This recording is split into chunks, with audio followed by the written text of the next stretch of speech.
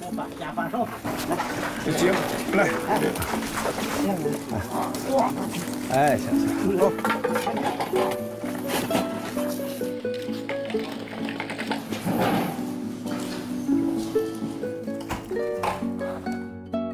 安置好采摘回来的树皮，孙冕就要跟纸坊的匠人们正式开始学艺。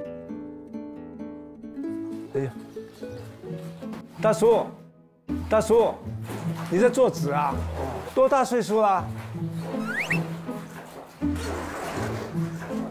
八十，八十五。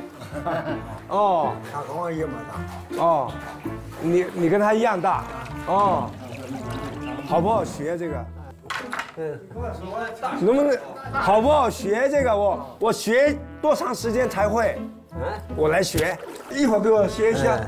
陆爷，陆爷，嗯，陆爷，这个二哥，给给这个，对对对。古菜 要给后地中有活水，有。为了还原古法造纸技艺，继续生产和开发菜猴纸，刘晓东创建了菜猴纸坊。纸坊的老匠人们大多有三十年以上的造纸经验，但遗憾的是，他们已经是村里最后一批掌握古法技艺的人。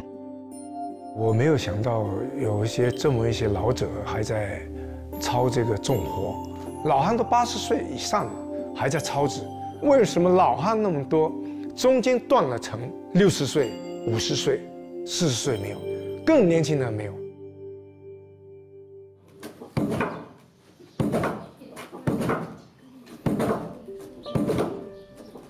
不要看着我，不要等一下，小心你的手啊！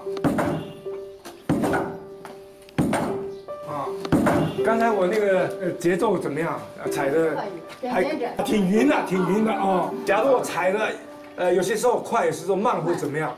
有时候人直接就把手给扎了。哦，把把手给扎了。好爷爷也把手也也抽。哦，这好爷爷手给扎过。哎呦，我去看，爷爷看，你手，就这个手是给扎的。哦，哎呀，你看，孙冕紧紧握住老人的手，一时心头思绪万千。我我拉这手就好像拉祖辈，哎，我没看过没看过这样的手。过去的他我我是个哈子他的，念哈子，我他在家把我边边有我，我他的快人。这是我们的祖辈，嗯，爷爷啊，你辛苦了，爷爷，辛苦辛苦了，这辈子，这辈子。啊，嗯，那双手我形容它跟枯枝一样。